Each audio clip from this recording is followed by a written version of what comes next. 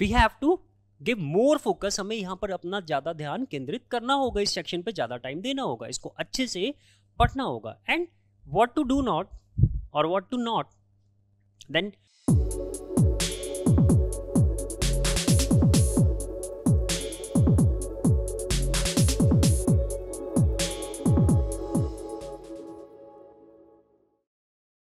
hello good evening everyone welcome back to the Plutus I स्वागत है आप सभी लोगों का प्लूटस आई पे।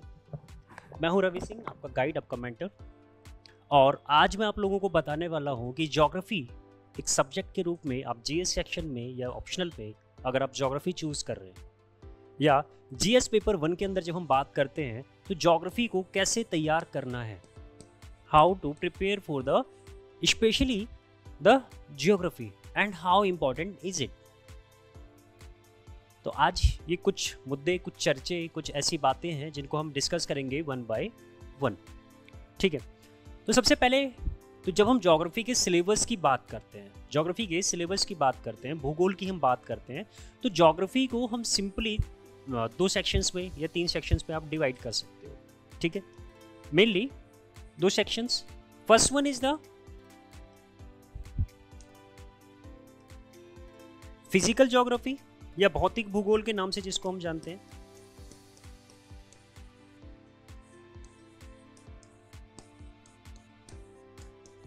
भौतिक भूगोल physical geography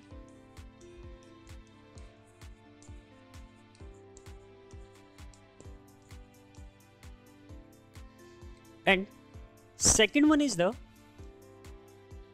Indian geography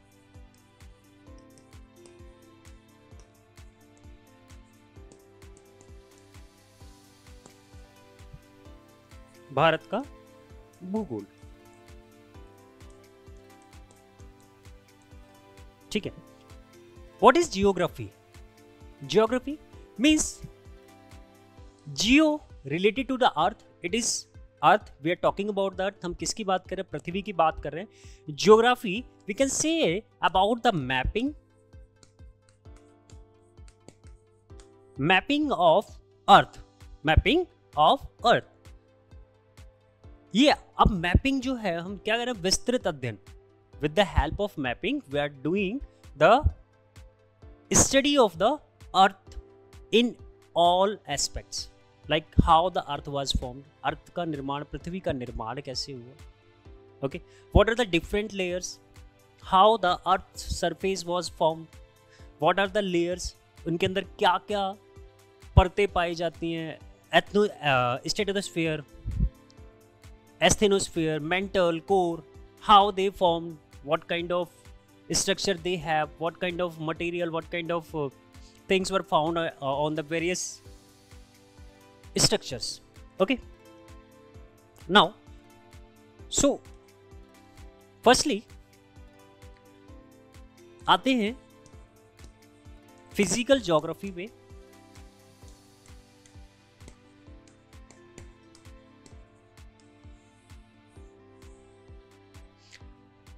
See, while you are preparing for the UPSC examination or state PCS examination, there are two things. As you all know, the syllabus is very wide, a very vast syllabus. We have a very vast syllabus.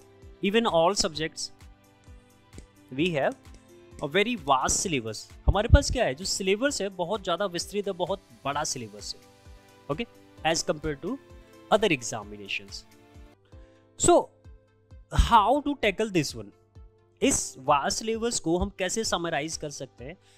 क्या करें कि आ, हम maximum marks यहाँ से gate कर सकते हैं। ठीक है? देखो दो चीज़ें हैं। What to study and what to not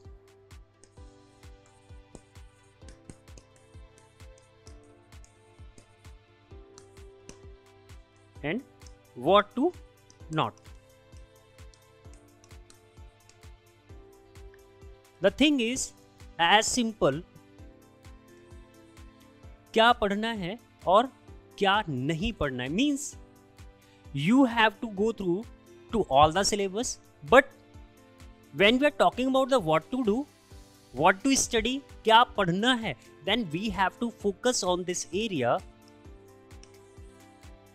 we have to give more focus हमें यहाँ पर अपना ज़्यादा ध्यान केंद्रित करना होगा। इस सेक्शन पे ज़्यादा टाइम देना होगा। इसको अच्छे से पढ़ना होगा। And what to do not और what to not then you can just through uh, to that part to that chapters to that syllabus.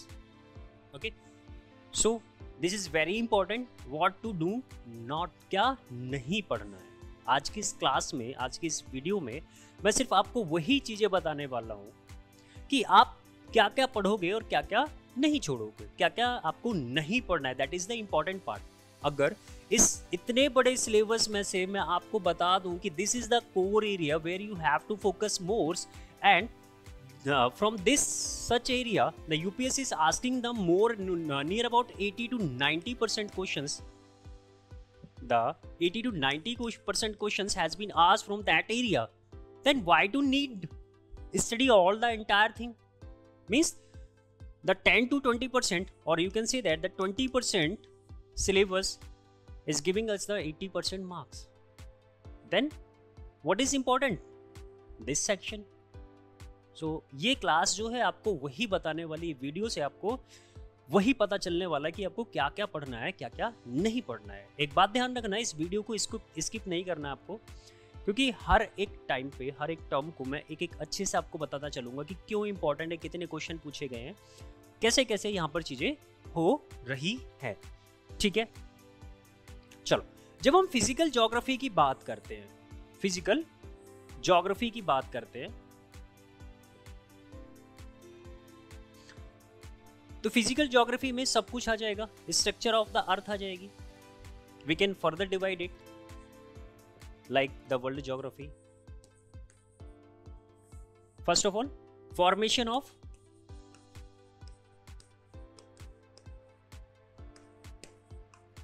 universe, earth, solar system,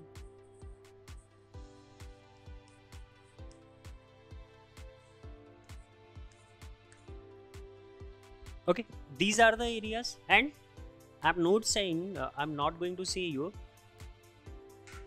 don't do not study this section why if you're not uh, aware of that how the earth was formed what are what were the uh, conditions वो क्या condition थी वो क्या परिस्थितियाँ थी जिनकी वजह से आज की जो हमारी पृथ्वी है वो हमें इस तरह से दिख रही है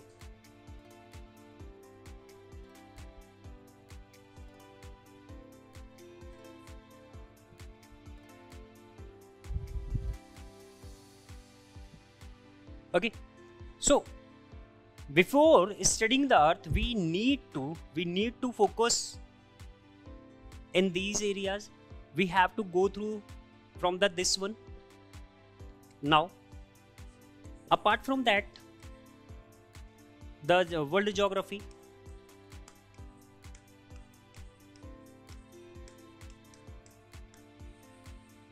In act, in that we have to study the climatology.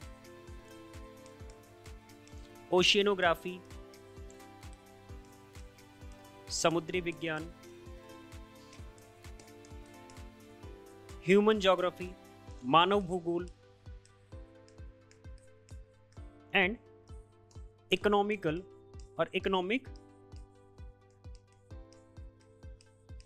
geography economic geography so, as per your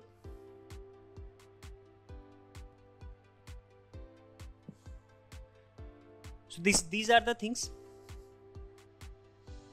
the most important thing is the climatology the most important thing is the climatology section why as the entire world is concerned about the climate changes the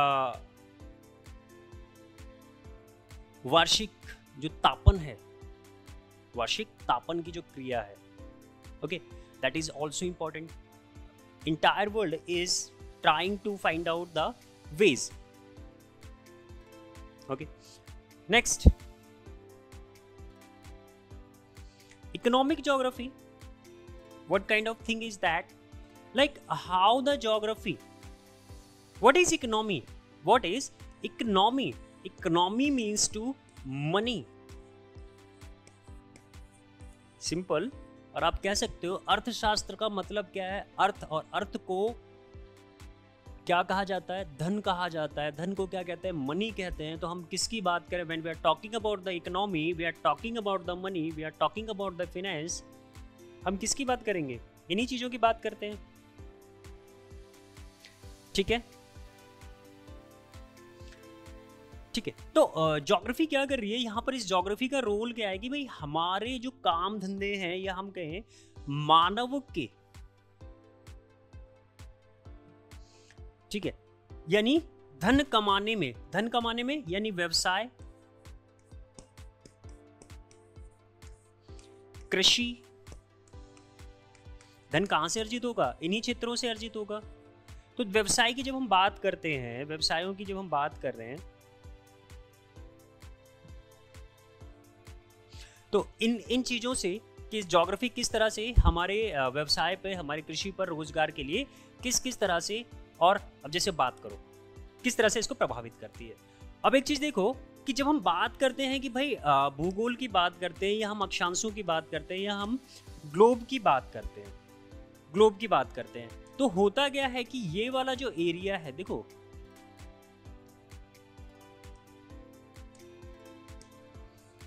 अगर हम globe की बात करें तो globe के अंदर कुछ एक एरिया है, जैसे भूमध्य रेखा इक्वेटर की हम बात करते हैं।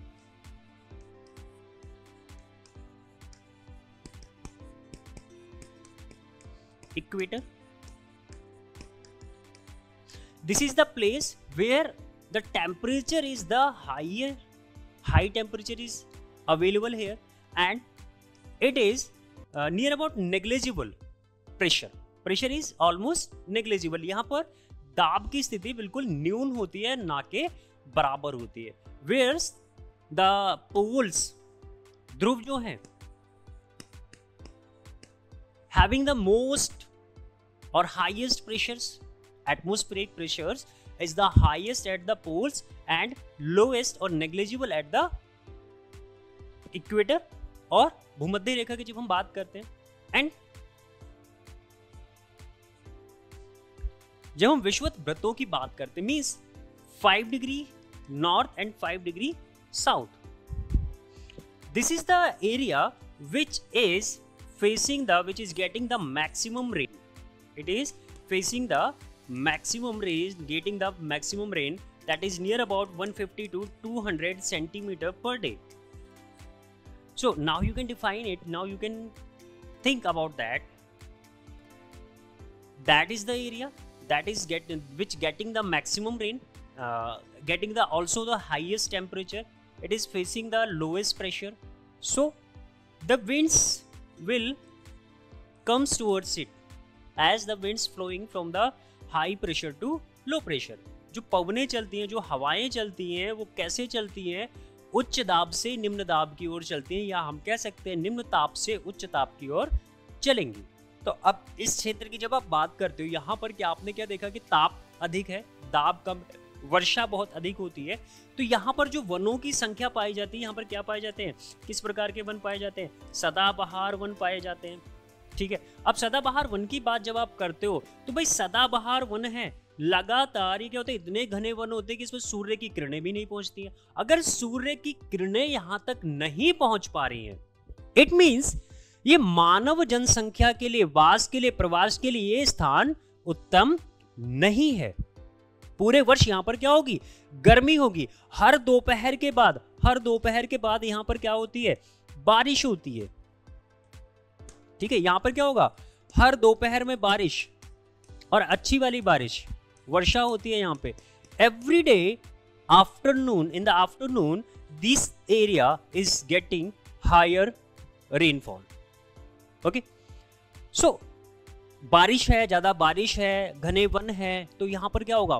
First of all only five percent of the world population in lives here five percent population lives here ठीक है?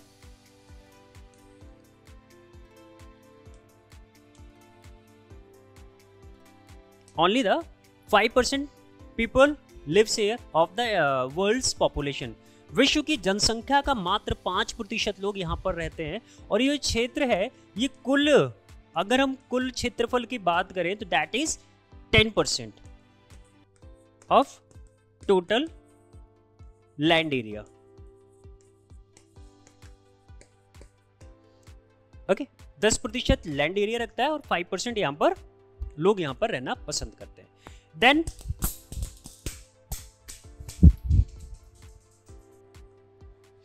the area between the tropic of Cancer and tropic of Capricorn कर्क रेखा और मकर रेखा के बीच का क्षेत्र। कर्क और मकर रेखा। Tropic of Cancer and tropic of Capricorn okay this is the area that is also known as temperate zone और उष्ण कटिबंधीय क्षेत्र बोला जाता है। एंड हेयर यहाँ पर क्या है कि भाई जैसे जैसे हम ऊपर की तरफ़ जाते हैं when we are talking we are moving towards the poles the temperature is continuously decreasing and pressure is became high तो क्या होगा? जैसे जैसे हम ऊपर की तरफ़ जा रहे हैं तो क्या हो रहा है? वर्षा कम हो रही है। वर्षा कम होगी तो क्या होंगे? वनों की सघनता कम हो जाएगी। ये वाले क्षेत्र में बीमारियाँ भी ज़्यादा होंगी। इस वजह से भी लोग यहाँ पर रहना पसंद नहीं करते हैं। तो आर्थिक रूप से ये अच्छा क्षेत्र नहीं है। इसी वजह से जनसंख्या भी यहाँ पर कम पाई जाती है। बात समझ में आ गई। ये वाला जो ये जो वाला एरिया है, ये क्या है? आइडियल प्लेस है। ये आइडियल प्लेस है। क्यों है? चार ऋतुओं वाले प्रदेश है, चार ऋतुएँ पाई जाएँगी यहाँ पर। शीत गर्मी, सर्दी, बरसात, बसंत, ठीक है? यहाँ पर पर्णपाती वन पाए जाएँगे लाइक सागवन लाइक शीशम, ठीक है? सागवन, शीशम जैसे आर्थिक रूप से, आर्थिक महत्व वाले पेड़ पौधे पाए जाएँगे, ठीक है? वनस्पतियाँ पाई जाएँगी। तो क्या होगा? ये आर्थिक रूप से संपन्न है। टेम्परेचर भी क्या होगा? चेंज होता रहेगा, मौसम परिवर्तित होता रहेगा, है तो पूरे बारह वर्ष बारह महीने क्या होती है? गर्मी होती है। जैसे जैसे हम ऊपर बढ़ते हैं, क्या होता है? टेम्परेचर कम होता जाता है। वर्षा की मात्रा भी कम होने लग जाती है, जिसकी वजह से ये और ज़्यादा अनुकूल हो जाता है। तो जैसे जैसे हम ऊपर बढ़ते हैं, यहाँ पर, लेकिन एक एरिया है, बहुत ज़्यादा ठंडे प्रदेशों पर भी हम लोग नहीं रह पाते हैं। तो सबसे ज़्यादा पॉपुलेशन जो है वो कहाँ पर है? कर्क रेखा और मकर रेखा के बीच में विराजमान है, उपस्थित है। ठीक है? तो इकोनॉमिक रूप से भी काफ़ी अच्छा है। लोग यहाँ पर रहेंगे तो बिज़नेस व्यापार भी करेंगे। अलग अलग के खनिज पदार्थ हैं, उनका खनन किया जाएगा, जलवायु का फ़ायदा उठाया जाएगा, कृषि की जाएगी। तो ये आर्थिक रूप से भी महत्वपूर्ण है। मानव के रहने के लिए भी काफ़ी ज़्यादा उपयुक्त है। गर्मियाँ ज़्यादा नहीं होंगी, ज़्यादा धूप बरसात नहीं होगी तो बीमारियों से भी लोग बचे रहेंगे। ठीक है? तो ये वाला जो सेक्शन है, जलवायु वाला, जलवायु का जो वितरण है, जलवायु की जब हम बात करते हैं, ये सबसे इंपॉर्टेंट चैप्टर है। और पिछले सात सालों में अगर हम देखें, पिछले सात सालों के अगर आप यूपीएससी के क्वेश्चन पेपर्स को उठाकर देखेंगे तो आप ये पाएँगे कि सबसे ज़्यादा क्वेश्चन इस जलवायु वाले क्षेत्र से पूछे गए हैं। यहाँ तक कि अगर आप 2024 का ही पेपर उठा के देखते हैं 2024 का प्रीलिम्स का पेपर उठा के देखेंगे तो जलवायु विज्ञान से लगभग छह से सात क्वेश्चंस इस साल के पेपर में मौजूद थे। जलवायु विज्ञान से लगभग छह से सात प्रश्न डायरेक्टली पूछे गए हैं। तो ये बहुत इंपॉर्टेंट चैप्टर है, इसको आपको अच्छे से पढ़ना होगा। इसके बाद हम बात करें समुद्री विज्ञान की, अगर हम बात करते हैं। भाई देखो, समुद्री विज्ञान की जब हम बात करते हैं,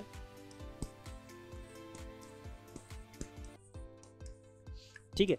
Means when we are talking about the oceanography means we are going to study the oceans okay हमें क्या करना है? ओशियंस के बारे में पढ़ना है। How the physical structure of physical structure of the oceans seas how they have build what kind of structure they have how these impacts on the lands, on the terrestrial areas too. Okay second one is the chemical chemistry chemistry of the oceans like क्या होता है कि there are some compound that are soluble in the waters water and others are not soluble in the water like the when we are talking about the salt when we are talking about salt sodium chloride potassium magnesium there are lots of things that can be soluble in water or unsoluble, non-soluble in water.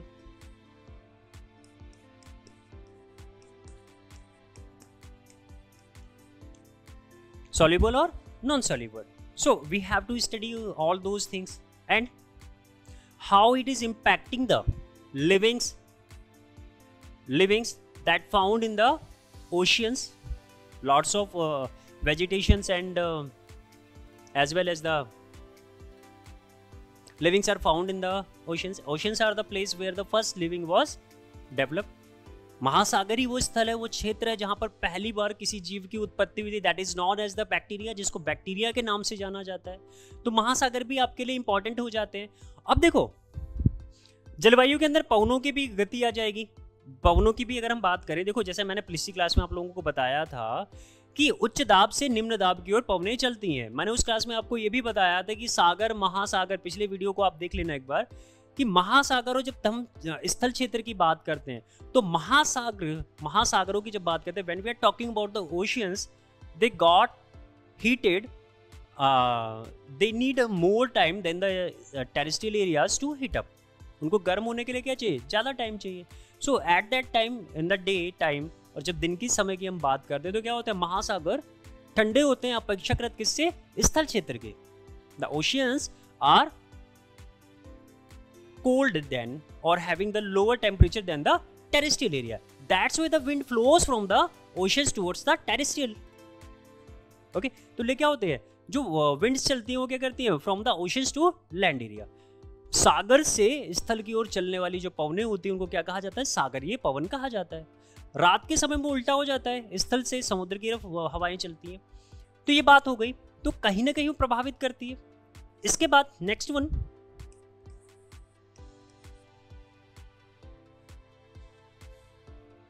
study about the vegetation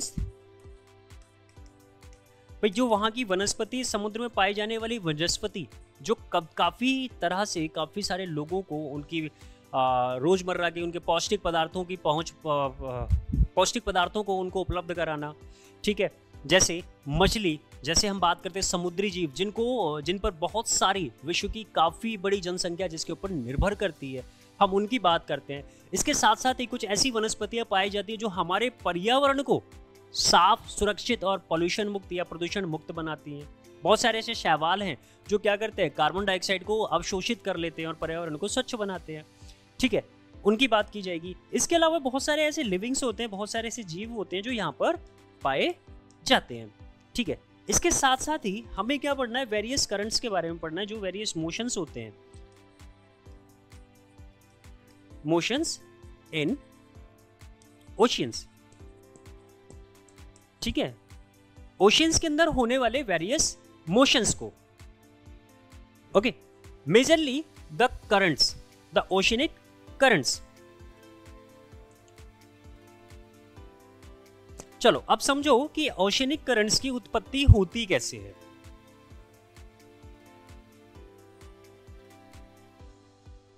okay okay.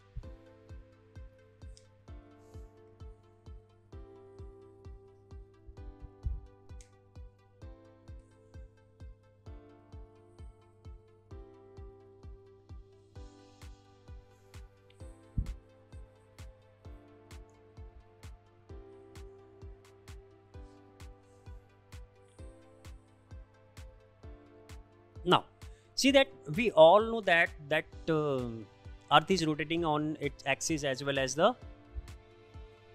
uh, around the sun.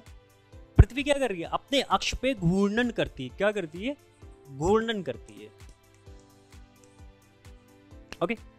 तो इस घूर्णन की वजह से क्या होता है? मैंने आपको एक चीज़ बताई थी कि when we are talking about the globe जब हम ग्लोब को देखते हैं तो होता क्या है? उत्तरी गोलार्ध से जब हवाएँ चलती हैं, पृथ्वी की जो घूर्णन है,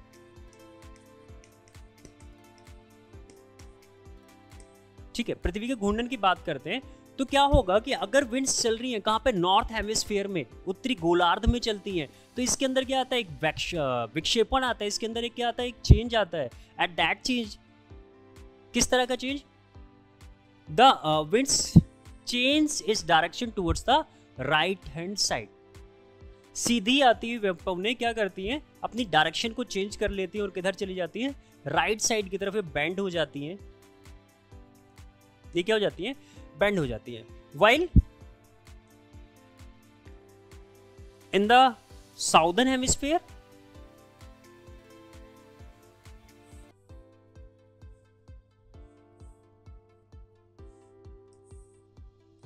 that turns towards the left. What they are doing? They are turning towards the left. ये क्या करती हैं? बाई ओर विक्षेपित हो जाती हैं। एक ये कॉमन सी बात है कि पवनों का विक्षेपण होता है किसकी वजह से? पृथ्वी की घूर्णन की गति से। और इस घूर्णन से क्या होता है? फोर्स जनरेट होता है। Force is generated towards the by the earth's rotation on its axis so it is known as the Coriolis force it is known as the Coriolis force इसको क्या बोला जाता है? कोरियालिस बल कहा जाता है।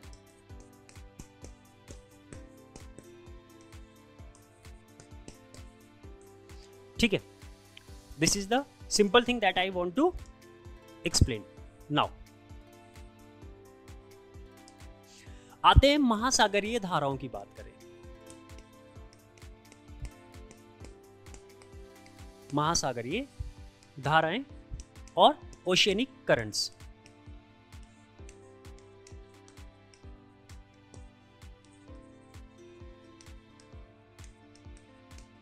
ओशियनिक करंट्स, महासागरीय धाराएँ और oceanic currents.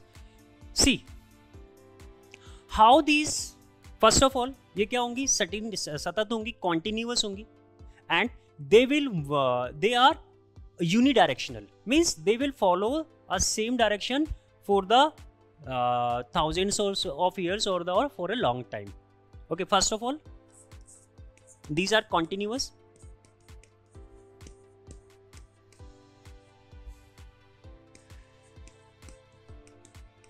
सतत गति इनके अंदर होती है ये लगातार क्या करती है मूवमेंट करती है okay so we are talking about the continuous motion सतत क्या होगी गति होती है because the oceanic currents are continuously moving first of all second one they always follows a specific direction. They always follows a specific direction.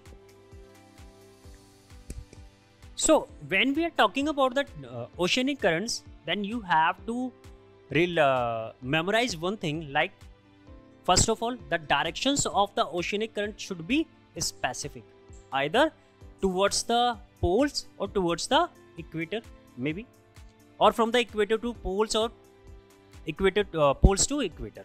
It depends. So they will follow a, a specific direction. Now question is that why the oceanic currents has been generated or originated. Who is behind it? What is behind this? So there are two kinds of forces there. First one is the primary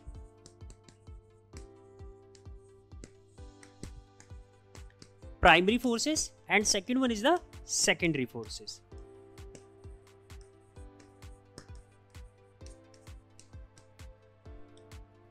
Primary and secondary. Prathamik or Madhyamik or Dvitiyak bal. So first of all, when we are talking about the primary force, what kind of forces are there? First one is the rotation of earth on its axis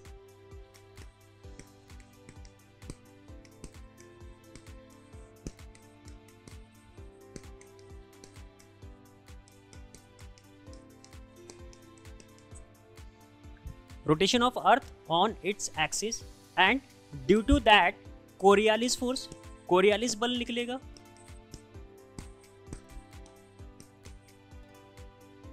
will impose on these oceanic currents. Next one, the gravitational force of Earth.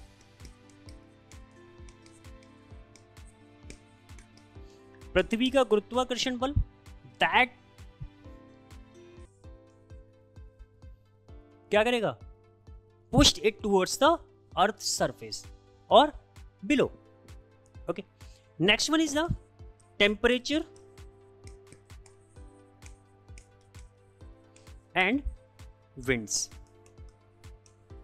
these are the primary reason और the primary force that are responsible for the various oceanic current किसी भी oceanic current की जब आप बात करते हो तो these are the primary forces या प्राथमिक बल हैं जो इस पर काम करते हैं। Due to these forces the oceanic currents gets the motion and the secondary one is the temperature of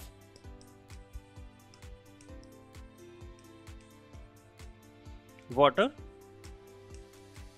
and density of water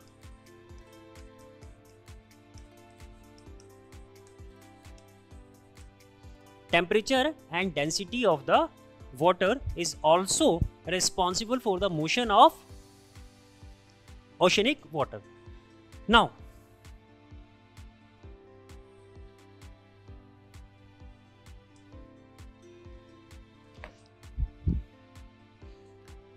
these are the things these are the force due to that the oceanic water got the motion comes into the motion now आगे चलो एक बात समझो अब यहाँ पर कि भाई सर, ये सारी चीज़ें तो हो गई। All this all these things were happen now now what to do and how the oceanic currents will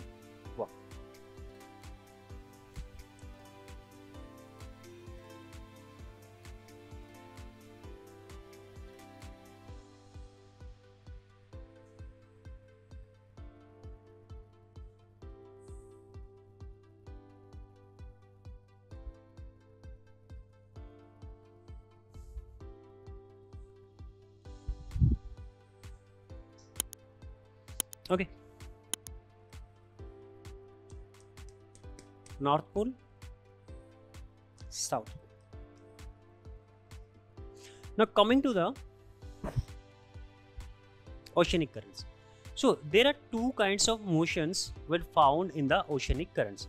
First motion uh, remember one thing the all the oceanic currents from the south poles is moving towards the north pole.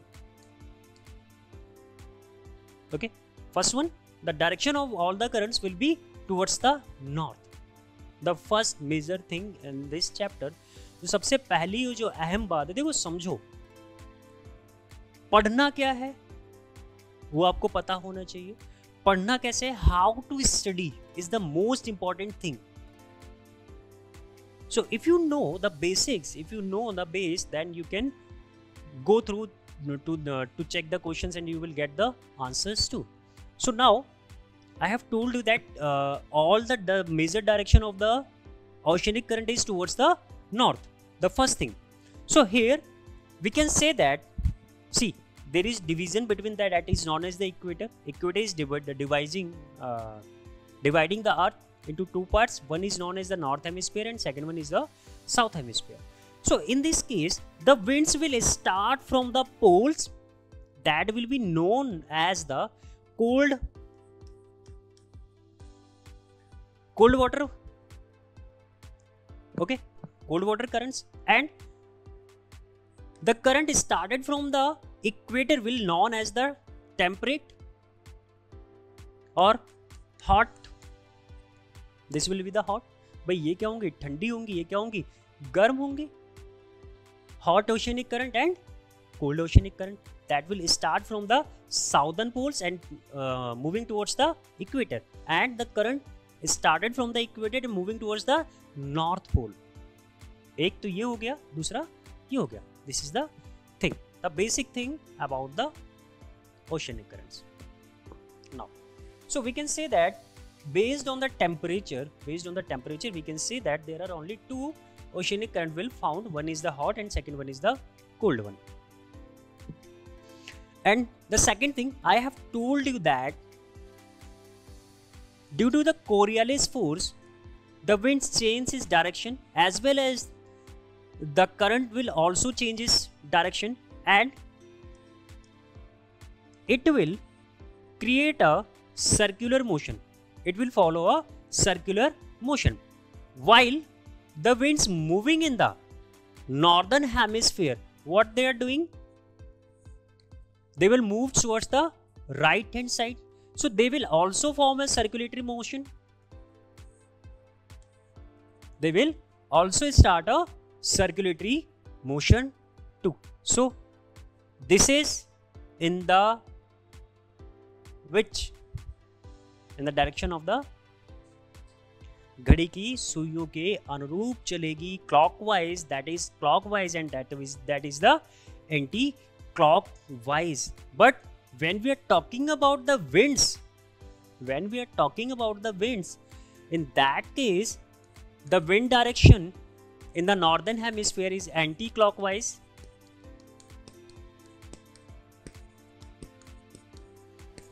wind directions पवनों की गति कैसी होगी घड़ी की सुइयों के विपरीत और in the southern hemisphere it is clockwise while the oceanic current is opposite of that the oceanic current should be clockwise in the northern hemisphere and anti-clockwise in the southern hemisphere this is the things and apart from that apart from that when we're talking about the on the depth of the water.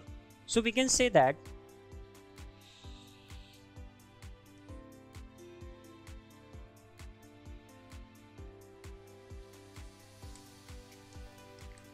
surface current,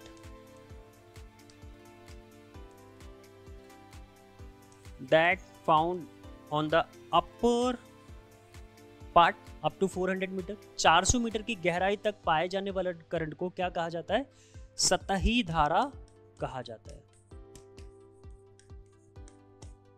Okay and that one is the depth current गहरी धाराएँ and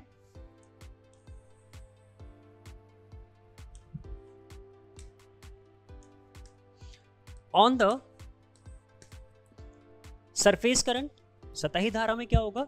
The two forces first one is the temperature and second one is the wind playing the most significant role here and in the depth current first one all is the gravitational force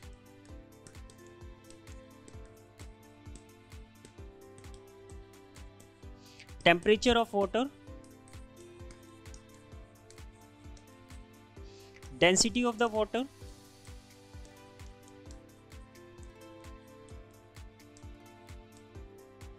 will play will play a significant role in the movement of the currents okay now these are the things and a part of that like uh, अगर कोई भी current चल रहा है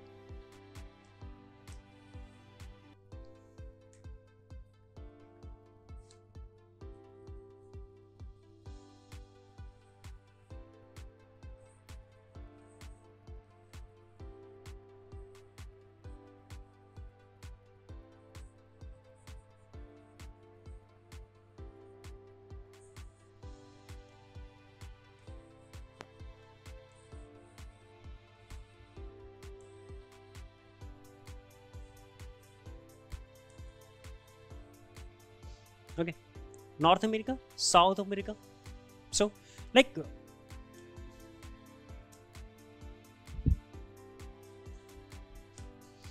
any current is started from that region, from the equator, अगर कोई धारा कहाँ से स्टार्ट हुई? विश्व व्रत से स्टार्ट हुई और इसने क्या किया? इसकी डायरेक्शन क्या होगी? Northern side then if he stucked with the land areas अगर ये लैंड एरियाज़ से टकराएगी then direction of the current will be changed. Direction of the winds will be uh, winds as well as the current will be changed. Like a current has been started from here and he got stuck with it and suddenly the direction of the current will be changed. So we can say that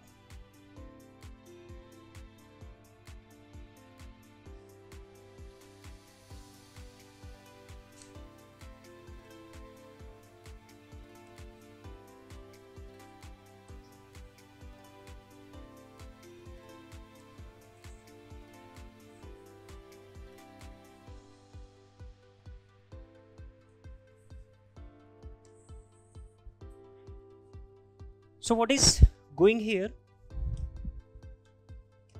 Like if any current is moving towards this one and it got stuck with the land area or the coastal areas then the direction should be changed. Okay? It can be divided into two sections and even the climate of that region will also affect the oceanic currents too यहाँ का जो climate होगा, यहाँ का जो मौसम होगा, वो भी इसको क्या करेगा? इफ़ेक्ट करेगा। Like this is a if any current that is initiated from the equator, अगर इक्वेटर से if a current has been initiated from the equator equator से कोई करंट स्टार्ट होता है तो always remember that should be hot ये कैसा होगा? गर्म होगा। And any current that is initiated from the poles especially from the arctic region or from the south pole will be cold in nature. So, the direction of the currents will be also depend on the size, shape of the land area or the coastal areas as well as the climate of that region too. Okay, तो बात समझ में आई आप लोगों को कि जलवायु को आपको पढ़ना है तो कैसे पढ़ना है? That what am trying to do मैं क्या करना चाह रहा था? मैं आपको बताना चाह रहा था कि आप कैसे पढ़ेंगे। So you have to first remember the you have to learn the basic things then after that you can go and do whatever you want आपको जो भी पढ़ना है, जो भी जानना है you can get it previous video भी देखना। ये वाली भी वीडियो देखना और कोशिश करना आपस में दोनों का तालमेल बैठाने का।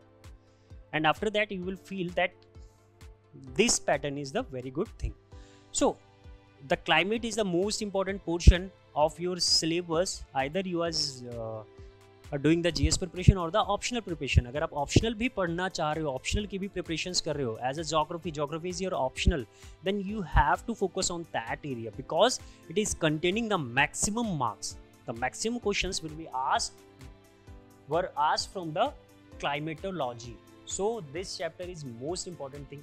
And when we're coming to the Indian geography, in the Indian geography, the rivers of India, the Himalayan range, the crops, what kind of crops are important, like the coffee shower is happened in the uh, eastern side of the Karnataka.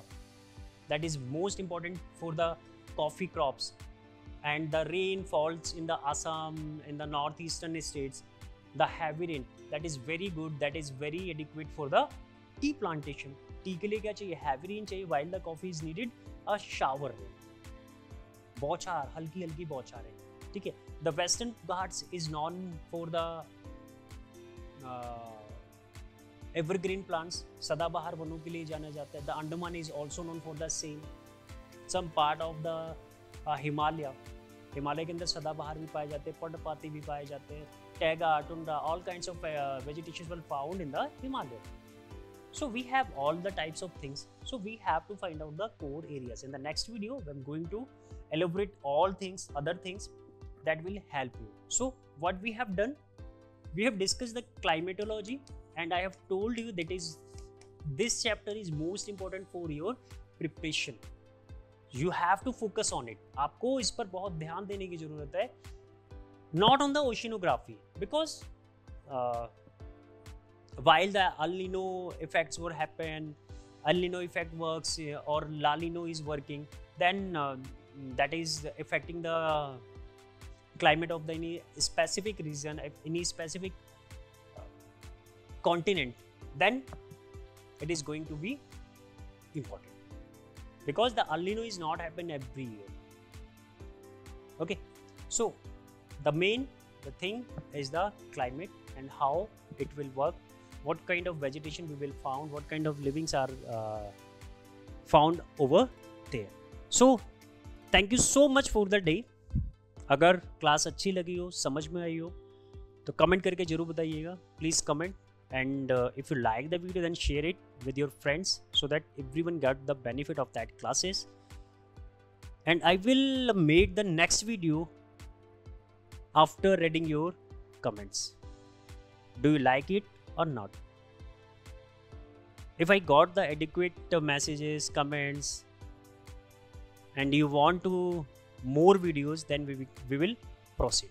Okay so thank you so much. Bye bye and take care consistency is the key of your success as well as the revision. Consistency revision is the key for your UPSC preparation.